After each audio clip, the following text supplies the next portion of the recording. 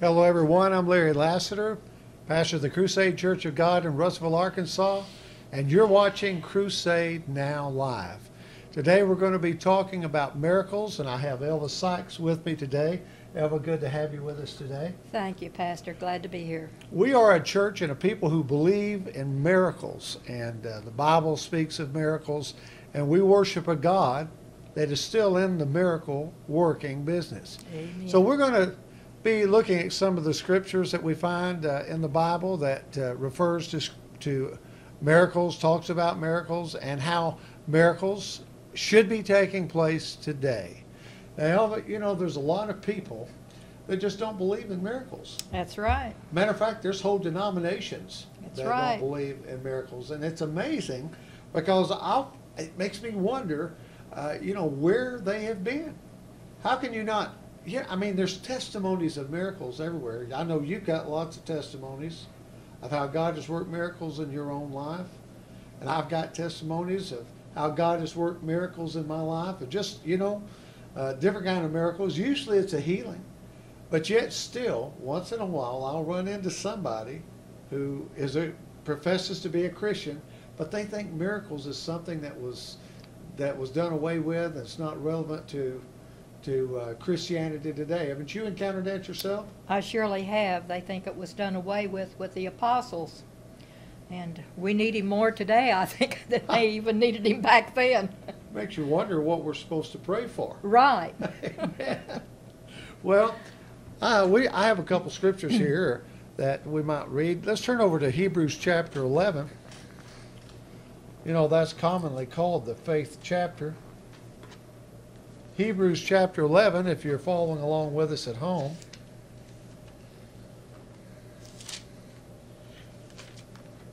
We see there in first in verse 1 where Paul says faith is the assurance of things hoped for and the conviction of things not seen. Now, that means that we we can with by faith we can call into existence that which we mm-hmm. do not see because we know it's a promise from God. Is that how you see that? That's exactly the way I see it. Why don't you read verse 6? And without faith, it is impossible to please him. For he who comes to God must believe that he is, and that he is a rewarder of those who seek him.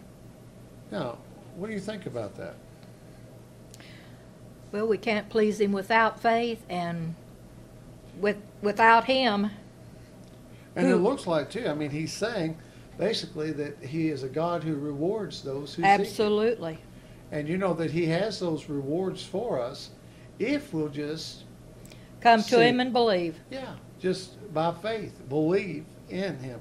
And then, you know, uh, the rest of the chapter goes on and talks about how people had put their trust in God and how many miracles that had taken uh, place in their lives.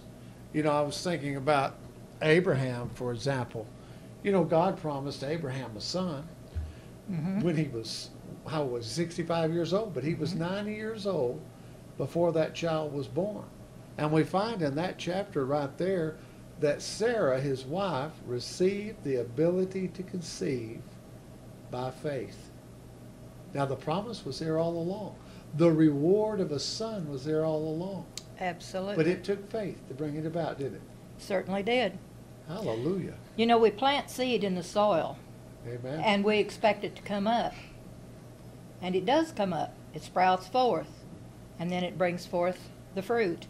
But it seems like we lack faith in planting a seed of the Word of God into the Lord Himself and then believing it to come forth and sprout. Amen. you know paul said that all of god's promises are yes And amen. Amen.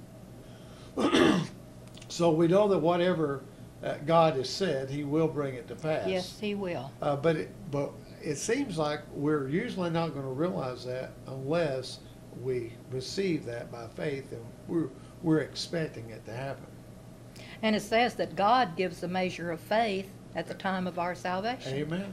And we have a measure of faith, and I guess He expects us to let it grow. yeah, to act upon that faith and let it grow. All right, let's turn over to Mark chapter 16.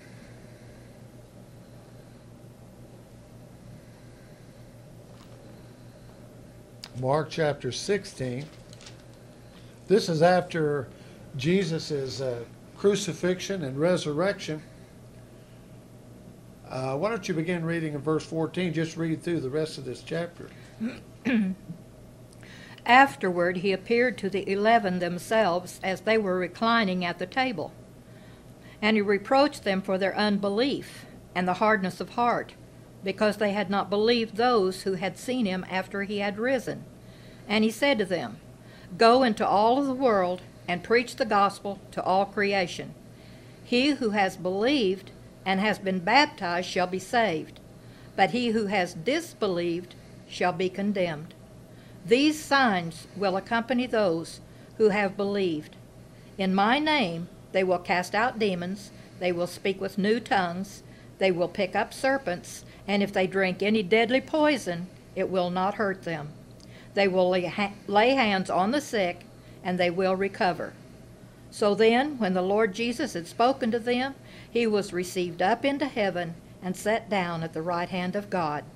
And they went out and preached everywhere, while the Lord worked with them and confirmed the word by the signs that followed. Now, Elva, that clearly says there, these signs shall Will follow, those who who believe. believe. And that, that simply means who walk in faith. That's right. who, who step out in faith and believe. These signs shall follow those who believe. Now, that means if these signs are not following, you're either not a believer or you're not acting upon the measure of faith that God has given you. Isn't that what you would say? That's exactly the way I see it. And in order to please God, then we have to step over into that realm of of uh, faith. You know, I, you know, we don't see to believe. We have to we have to see through the eyes of faith, and know because of the promises, whatever the promise is, exists. That's right. Even though we may not see it, we may not see that we have healing, but God says that we're healed by His stripes. So we believe and we receive that by faith. That's the way with the ten lepers. Amen.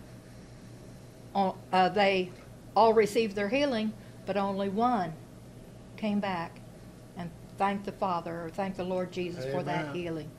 I know that's kind of a sad thing. You know, It is. Jesus, Jesus said, well, "I thought there was ten of you. Where's Yeah. the other nine? You know, and it makes you wonder: Did they give God? I mean, maybe somehow along the line they began to say, "Well, I, maybe I was going to be, maybe I was getting better already, or maybe you know, give credit to, to natural circumstances." You know, I- we've had that happen a number of times where you tell someone of a miracle uh, that has taken place, and then they have trouble believing it, meaning they don't want to give credit to God and to the suffering of Jesus, mm-hmm. and so they then start, you know, give, giving the credit to just to natural circumstances. Well, Or to the doctor. yeah, the tumor took care of itself, Right. or you know, I guess that, that wasn't a, a terminal disease, when in fact, you know, oftentimes it's God who has done the, the miracle. Well, the way I look at it, God is the healer, even though He uses the hand